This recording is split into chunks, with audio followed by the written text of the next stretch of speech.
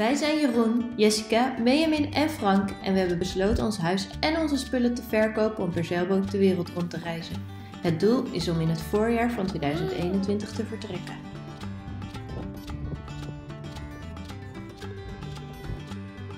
In deze aflevering gaan we een boot bekijken en bezoeken we een mogelijke lichtplaats in Nederland.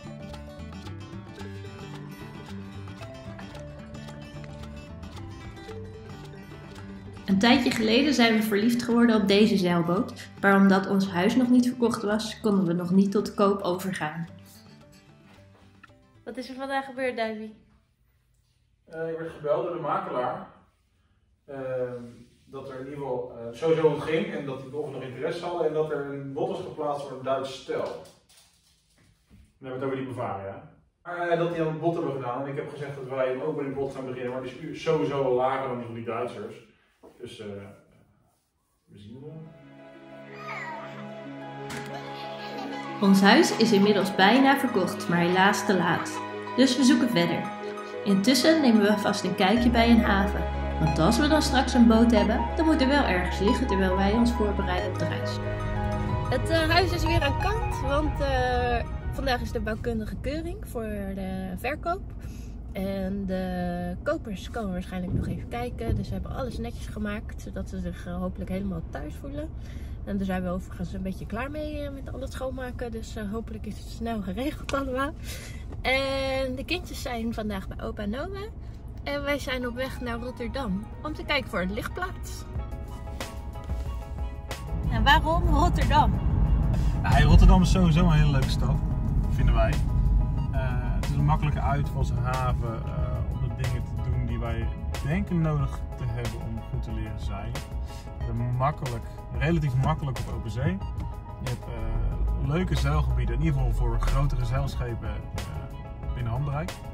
Ja, dat is dus anders dan wanneer we bijvoorbeeld in de thuishaven van de vorige boot zouden liggen, in de Bloeshaven. Dan als je dan naar bijvoorbeeld de Noordzee wil, ja, dan moet je gewoon door heel veel bruggen, onder heel veel bruggen door. En dat betekent dat je best wel lang onderweg bent. En uh, de meren die daar in de buurt zijn, die zijn een stuk kleiner. Met zo'n grote boot is dat helemaal niet handig. Afgezien van het feit dat de boten waar we naar kijken allemaal veel te diepe steken om überhaupt in die haven te komen. Dus ja, daarom Rotterdam. En dat lijkt ons super leuk om ook nog een tijdje echt in een grote stad te wonen. Voordat we uh, weggaan,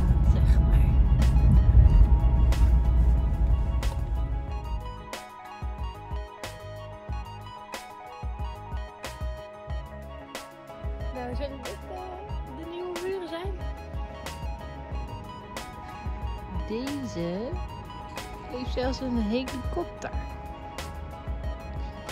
Wat vond je ervan? Ja, ik vond het een leuk haventje. Een beetje gevarieerd gezelschap qua schepen en zo. En, uh, niet te groot, niet te klein. Misschien precies goed. Jij? Ik vond het wel leuk dat er uh, van alles en nog wat ligt. Dus er liggen gewoon uh, oude, vieze scheepjes. Maar ook superjachten en ook wel wat jachten zoals wij voor ogen hebben. We zijn op weg naar Bruinisse. En daar gaan we een boot bekijken die we eigenlijk al eerder hebben gezien. Maar dat was echt uh, toen we nog uh, in de oriënterende fase waren. En we eigenlijk uh, nog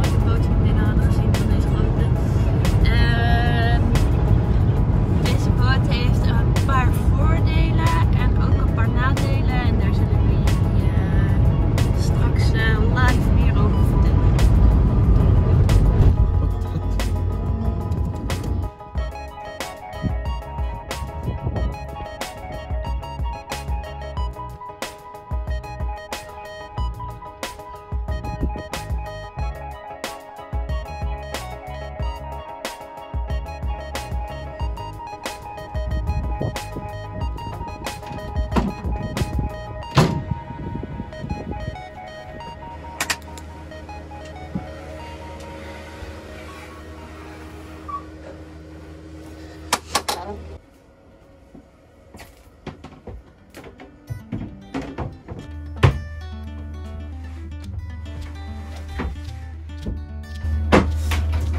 vind ik dus heel mooi.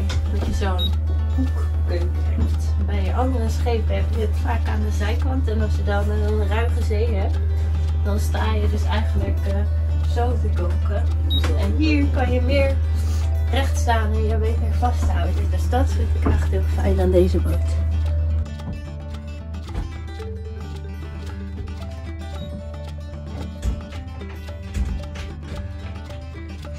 Een van de achterkajuiten, waar je dus eigenlijk gewoon uh, een prima tweepersoonsbed hebt. Aan de andere kant is er nog eentje. Dus dat Jeroen nu. Uh...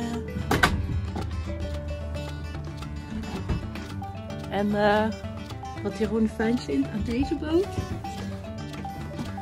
is dat hij in de douche kan staan. Staan. Kan staan. Zijn hoofd te stoten. Ik kan naar buiten kijken.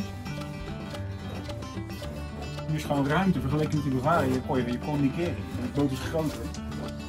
Dit is gewoon een ja, badkamer, niet een goede term, maar hier kan je gewoon nog bewegen. Je kan je afdrogen.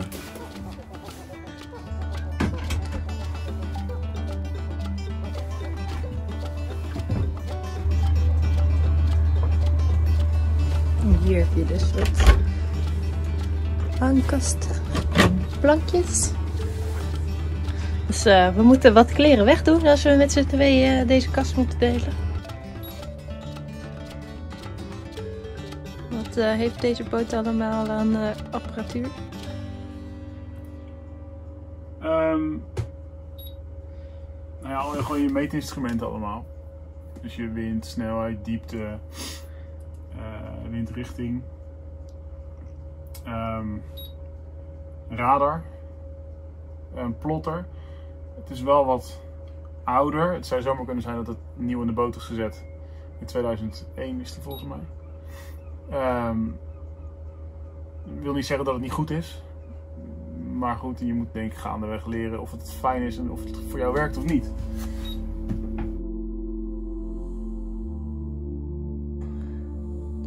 Hier is een stapelbedje. En voor mij is dat gewoon helemaal prima. Sterker nog, ik heb nog ruimte over. Maar voor normale volwassen mensen is het misschien een klein beetje krap.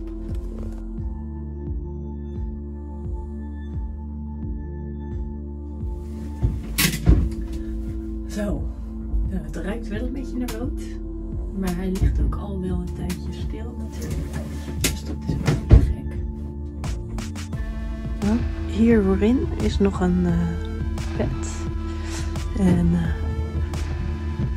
in principe, als we kijken naar andere boten die we hebben bekeken, dan uh, is dit geen volwaardig tweepersoonsbed. Dan kan ik er prima slapen. Hierin waarschijnlijk niet. Dus dan zou een van de jongens hier waarschijnlijk gaan liggen.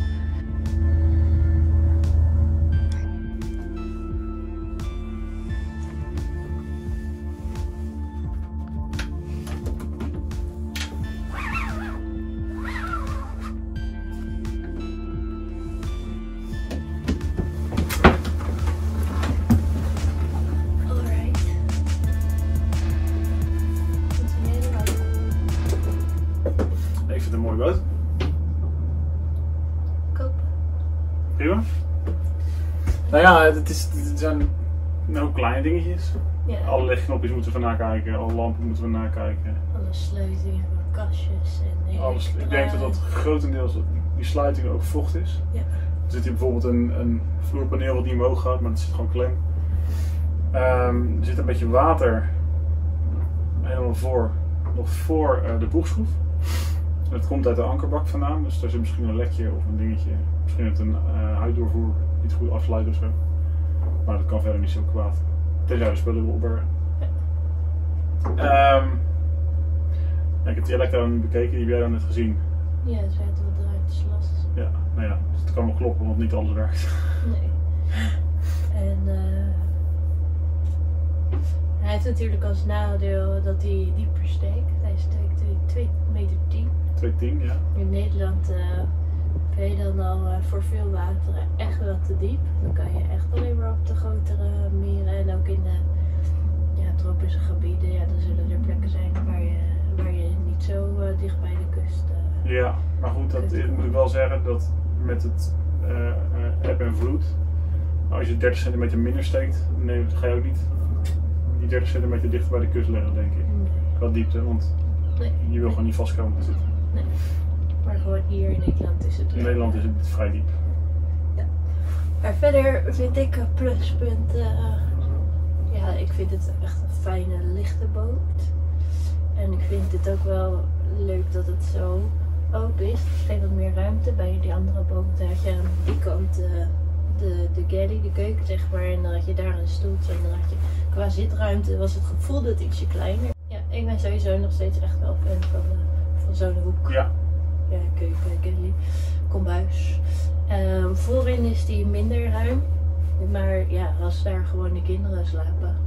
En als er geen mensen op visite zijn of gewoon in Nederland, dan kan, kan een van die jongens eh, ook achter naast Ja. ons. Maar volgens mij is dat gewoon eh, helemaal prima. Is dat niet een compromis of zo? Nee, nee, nee. Ik- het is hier wat minder, minder ruim inderdaad, maar ik stoor me daar niet aan.